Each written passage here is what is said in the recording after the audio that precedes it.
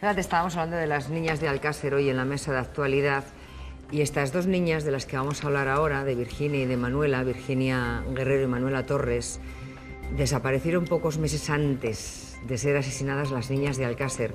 De hecho, se le llaman las, el caso de Alcácer de Palencia. Las niñas de Alcácer de Palencia se les llama a ellas. Y les refresco un poco la memoria porque esto ocurre el 26 de abril de 1992. Virginia y Manuela, íntimas amigas de 13 y 14 años, deciden coger un tren para irse desde Aguilar del Campo, en Palencia, hasta Reynosa, que está a 30 kilómetros, a una discoteca. Se suben en un tren, van a la discoteca, salen de la discoteca y para volver a casa hacen autostop. Alguien vio que les paró un coche blanco y hasta hoy nunca, jamás, nadie supo nada ni de Virginia ni de Manuela.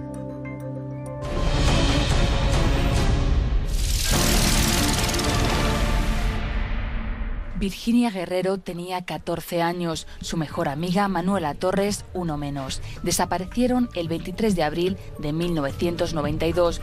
Tomaron el tren de las 7 de la tarde desde su pueblo, Aguilar de Campo, en Palencia, hacia Reynosa, a 30 kilómetros. Se fueron allí a pasar la tarde de fiesta, con 800 pesetas en sus bolsillos. Alicia, Alicia, dice, espera, dice, ¿por qué no vienes con nosotras a, a Reynosa? Y las dije yo, digo, Digo, a Reynosa, digo, ¿y con quién vais? Dice, no, vamos en tren. Y, y les dije yo, digo, ¿pero la vuelta? Dice, no, la, la vuelta la hacemos a dedo. Digo, no, digo, yo no voy. A las nueve y media de la noche, varios testigos las ven a la salida de Reynosa haciendo autostop. Entonces se pierde su rastro. Nadie sabe dónde han ido ni con quién, pero en un principio se piensa que puede tratarse de una simple chiquillada. Virginia, si me está viendo, vuelve a casa. Todos estamos esperando, tus primos, tu, familia, todos, tus hermanos. Estamos sentir muy, muy tristes, todos. No, no ha habido para nosotros eso. Si, si me ves, Manuela o Virginia, por favor, volver a casa. Que os queremos mucho. Pero pasan las semanas y los meses y tanto la Guardia Civil como las familias de las menores se temen lo peor. Creen que pudieron ser secuestradas por algún conductor. Hay quien dice que las vio montar en un SEAT 127 blanco, pero esa pista no lleva a ninguna parte. Yo para mí, que las han engañado vilmente, descaradamente, las han convencido, pueden estar en cualquier sitio, retenidas contra su voluntad, en cualquier sitio. Han pasado 21 años y no hay ni rastro de ellas y ni un solo indicio de si Virginia y Manuela están vivas o muertas. Nadie nos ha demostrado que están muertas, nadie nos ha dicho nada, nadie... Entonces, pero no, no puedes cerrar la puerta a nada, pero tienes que irte al lado bueno. Sus familias aún mantienen viva la esperanza de que vuelvan a casa cualquier día. Eso es con lo que sueñan cada noche y lo que les da fuerzas para seguir luchando. Pues está con nosotros Salvador Ortega y Ignacio Gordillo. Buenos días. Buenos días, Mailo. Buenos días. Y también hoy vamos a hablar con Emilio Guerrero, que es hermano de Virginia, una de las desaparecidas. Y al teléfono vamos a charlar también a través del teléfono con Karima Torres, que es madre de Manuela. Eh, Emilio, buenos días. Buenos días a todos. Karima, ¿le tengo a usted al teléfono? Sí, estoy al teléfono. Vale, pues eh, muchísimas Sí, gracias. sí, sí. Muchísimas gracias a los Estoy al dos. teléfono. Ok, me escucha bien, ¿verdad, Sí, Karima? Buenos días. Sí, sí, lo escucho muy bien. Además, estoy siguiendo en directo. De acuerdo, pues estupendo. Sí, sí, sí. Yo quería preguntarle a, a Karima, eh, Sí. ¿cómo, era, ¿cómo era Manuela, su hija? ¿Era obediente? ¿Era Pues mira, trave- tra- traviesa? ¿Se había escapado alguna vez de casa? o- nunca. Traviesa no. Yo hasta ahora lo que digo... Karima, Lo que pienso, sí, hasta ahora que se han ido con alguien que conocieran, porque es o las han raptado, hasta ahora es lo que pienso. No quiero pensar mal, pero yo pienso que con alguien que conocían, porque Manuela nunca habría subido en un coche sin conocer la persona. Emilio, eh, ¿su hermana también era así? ¿Cómo era Virginia? Bueno, han pasado muchos años, pero Virginia creo que vamos, no hubiera no una chica normal, con sus inquietudes de, de 13 años, de 14 años, perdón, pero es que no me entra en la cabeza. ¿Que no le entra a la cabeza el qué, Emilio? Mm, bueno, es que es una situación difícil de digerir. Tienes que convivir con ella cada día que transcurre. Y lo que no me entra es que, bueno, resumiendo, no puedes cerrar la puerta a nada, ni bueno ni malo, tenemos que estar preparados para lo mejor y para lo peor. Pero como no tenemos nada, pues la esperanza está ahí, o sea, no puedes ni debes perderla. Quizás una de las cosas que en tu interior... ¿Sí? Digo, una de las cuestiones que más pudo ofenderles en ese momento, a mí me, hubiera ofendido, es que inicialmente dijeran que tanto Virginia como Manuela eh, se habían escapado de casa y los investigadores dijeron, vamos a esperar unas semanas, unos meses para buscarlas. Estamos hablando de un caso que ocurrió hace 21 años, pero entonces a ustedes como madre y como hermano, eso les sonaría escandaloso, ¿no? El que no se pusieran a investigar inmediatamente. Pues mire, no, perdóneme, no, no, quiero reivindicar nada ni he venido a hacer ningún alegato sobre... Ya ha pasado, ya volver atrás no sé si sirve de algo, lo que en un día nos parecieron cosas que no se debieran de haber hecho o se debieran de haber hecho de otra forma, ya es irrelevante. Ya ahora es que un buen día nos den una alegría y punto. Porque usted espera volver a ver a su hermana. ¿Está convencido de que está viva? No estoy convencido de, de nada. Sí. Yo la esperanza, como la digo, la, digo está ahí. No, no tenemos nada, es que no tenemos nada, ni bueno, malo, que, cada uno tenga sus propios pensamientos es inevitable. Pero desde luego dices, si te atienes a las estadísticas, dices, si algo, lo peor hubiera sucedido, en la mayoría de los casos ya hubieran aparecido. Solo espero que estén vivas y que algún día podamos volver a verlas. ¿Y si Virginia cruza la puerta de su casa un día, Emilio, usted qué haría? Abrazarla. Karima, ¿y usted?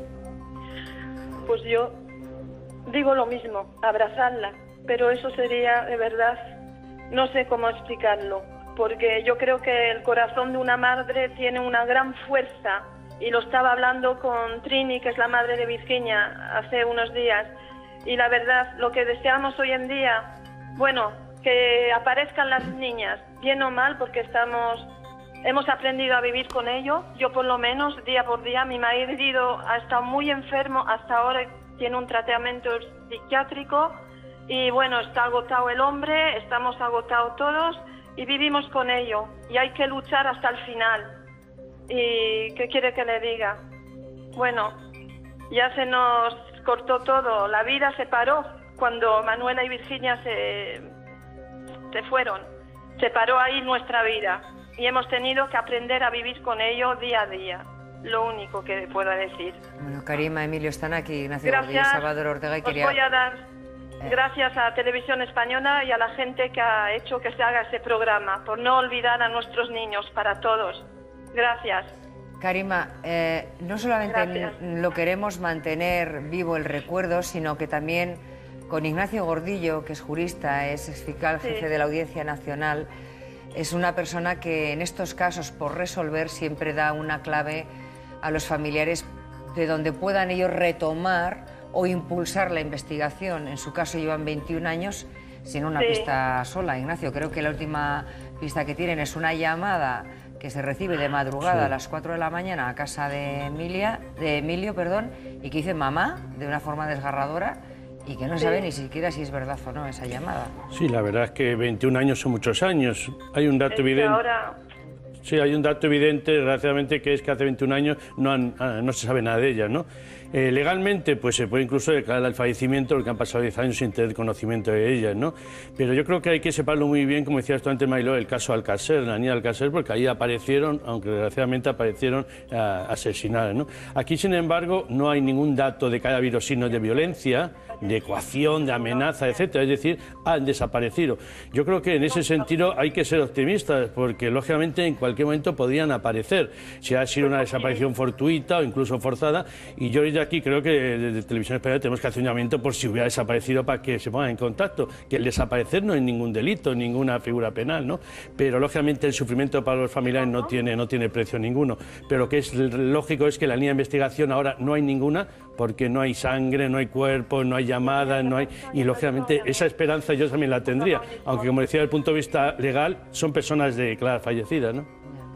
Sí, en el caso de menores que se pierden de esta forma, lo lógico es pensar que, en que la, pensando que, que, puedan haberse sido no secuestradas, sino que voluntariamente hayan partido, depende naturalmente de la voluntariedad de otras personas también. ¿Por qué? Pues porque normalmente no tienen recursos, porque normalmente no, pueden ir a, donde, a sitios fijos donde hacerse de dinero, salvo raras excepciones, naturalmente. Luego, es posible que se fueran, que pudieran irse con alguien que les llevó a un sitio determinado y que a partir de, ahí hayan querido rehacer su vida por otro sitio. En definitiva, son menores y como menores que son, normalmente suele suceder que hay un momento en el que llaman a su casa, en el que se hacen entender que, que, que no han fallecido, que no ha sido trágico tal, que se han ido de una forma o de otra, o también hay casos que naturalmente pierden esa identidad y retoman otra y no hay quien las encuentre luego después. O sea, los casos no se cierran, los casos, pero para que no se cierre tiene que haber, naturalmente, tiene que haber motivaciones para que se pueda, para que se pueda seguir investigando.